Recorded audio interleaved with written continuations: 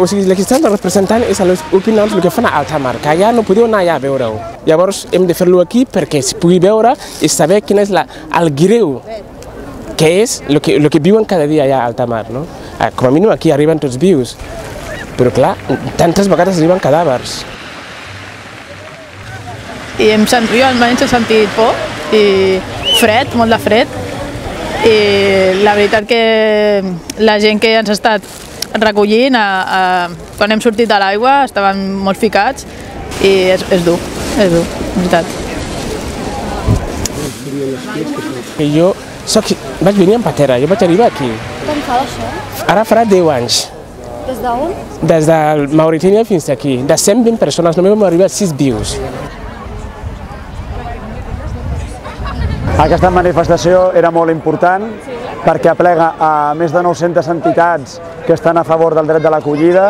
És una suma de forces eh, difícilment visible de forma freqüent per a aquest tipus de causes, per tant està molt bé, però no ens podem quedar eh, només aquí.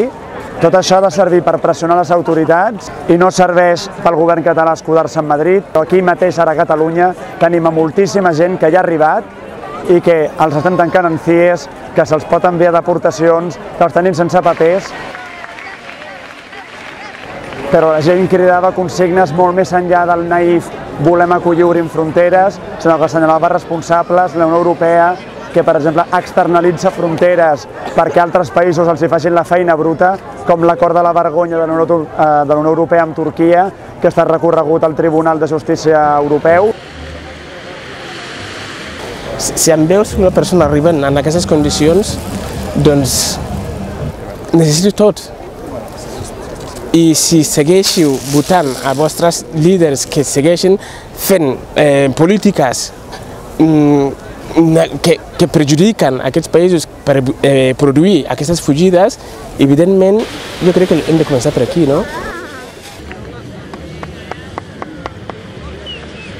A la iniciativa de Casa Nostra, Casa Vostra hem participat doncs, donant el nostre suport i alçant la veu com, perquè pensem el que pensen ells i venint aquí a la manifestació intentant fer difusió per les xarxes socials, anant al concert i també intentant difondre'l. Crec que mai és suficient. Un cop feta aquesta manifestació hem de seguir fins que totes les persones que encara estan en, en, en situació de vulnerabilitat la deixin d'estar i tinguin els mateixos drets que les persones que tenim eh, que vivim aquí.